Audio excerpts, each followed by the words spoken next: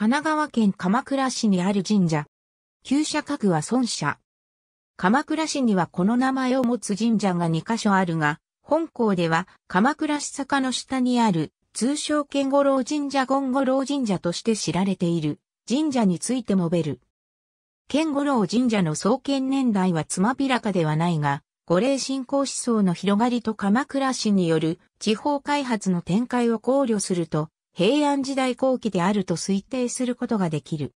元は関東兵士五家の始祖、すなわち、鎌倉市、梶原市、村岡市、長尾市、大場市の五市の霊を祀った神社であったとされ、五霊から転じて五霊神社と通称されるようになった。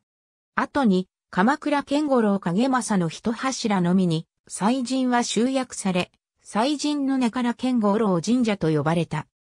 鎌倉影正は、平安時代後期の関東兵士の一族であり、鎌倉、梶原、村岡、長尾、大場の五市と共に、鎌倉武士団を率い、現在の湘南地方一帯の地方開発に従事した。影正はまた、その武勇をもって知られ、16歳の時、源、義家の陣営に連なって、五三年の役に従軍して活躍した際のエピソードがよく知られている。欧州後三年期の伝えるところによれば、影正は左目を敵にいられながらも屈することなく、い手を倒し帰還した。